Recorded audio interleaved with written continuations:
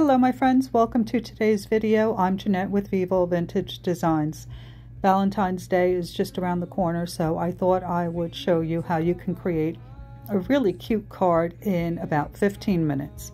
I'm working on Canson XL watercolor paper. I have my Mungyo 48 pan set. I tell you this all the time, this is a great set for the beginner. Nice variety of colors and it's about 48 $40 I think I'm also using a round size 8 brush. I have some clean water and some Posca pens. Now I took the little a little mat that I'm going to put around the card, or the, rather the painting, and I traced the inside on my paper so I know how far I can go out. And I'm going to be painting hearts and I'm using a few different colors pre-mix your colors before you start painting. That way you don't have to slow down to mix more paint. And when you're creating these hearts, don't worry about them being perfect. In fact, the more imperfect they are, the better. So just fill your card and even go over the edges with these hearts and make sure that you use a nice variety of different colors.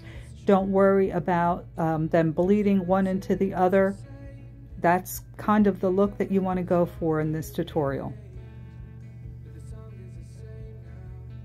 You can see that so far my hearts are not even on both sides, they're not perfect. We're not going for that. We're just creating a cute little card. We're going to have some fun with it and we're not going to worry about it. And you can see here in this one, I've dropped a little bit of a deeper red into that heart. So don't be afraid to experiment and add a little bit more color or deepen your colors. You don't even have to use red or pink. You can use whatever colors you like. So I'm going to go ahead and fill in this area with different size hearts and then we'll come back and I'll explain some more.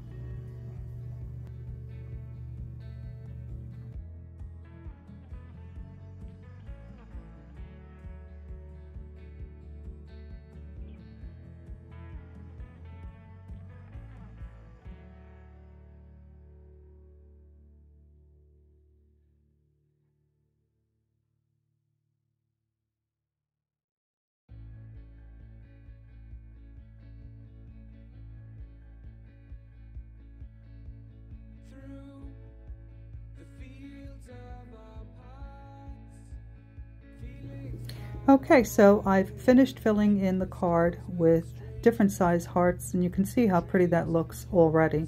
And now I'm using the very tip of my brush and I'm adding some tiny little hearts in the white areas. And this is really easy to do if you just use the tip of your brush. It's just two swipes, one on each side, and you've got a heart. And now I'm going to make sure that this is completely dry before I start to outline the hearts with the Posca pens because I don't want to um, smudge anything.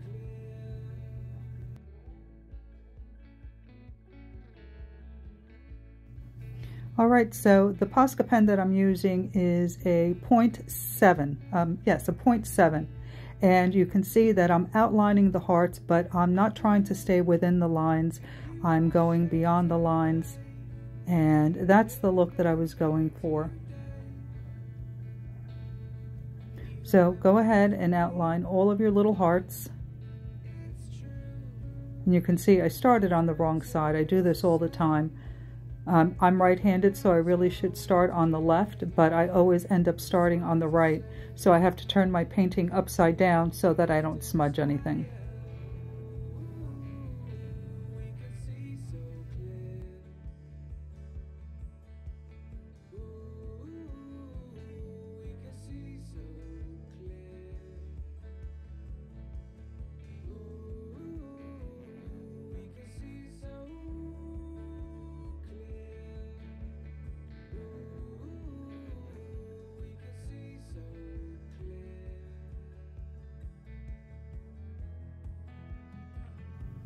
Now that I've finished outlining the hearts, I'm using a Posca pen with a much smaller nib, and I'm just writing a quick, simple little message in one of the hearts. It just reads, I love you, which I think is perfect.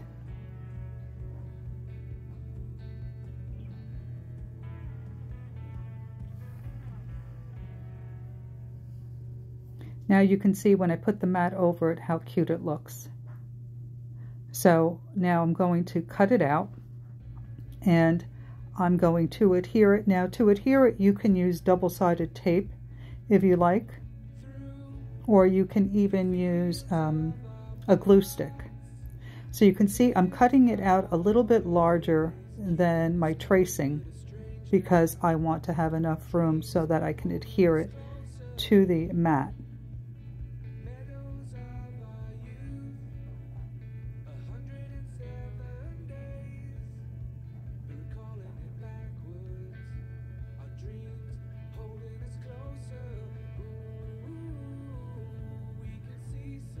And you can purchase these cards that are already cut to size and they fit these mats perfectly. I love using these. It saves me a lot of time and trouble. But you can see that the mat looks absolutely adorable on the card. It brings out the black. Very simple, very cute. I hope that you enjoyed this video and that you give it a try. Uh, I would love for you to share it with me on our Facebook group, Vivo Vintage Design Tutorials, where you can share your versions of the paintings and and techniques learned on this channel. We have a great group of members that are incredibly supportive. And if you enjoyed this video, be sure to give it a thumbs up. It's a nice way to show your support. And please don't forget to subscribe and hit that notification bell so that you don't miss any upcoming videos. Thank you so much for watching. Don't forget to check the description box for links to the products used, and I will see you in the next one. Bye!